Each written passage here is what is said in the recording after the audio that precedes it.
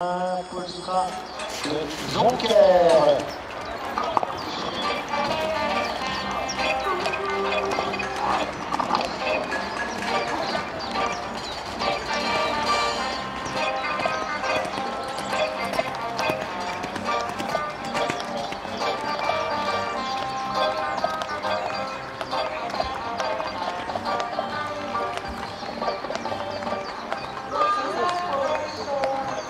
好了，好了。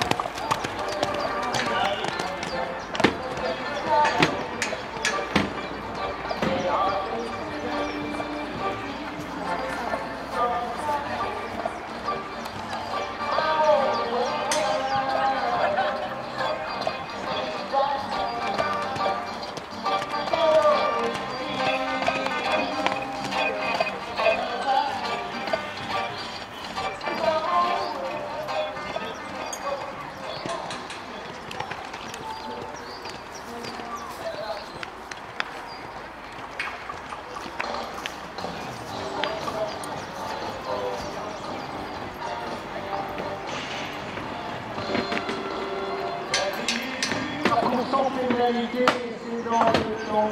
Le 5 à la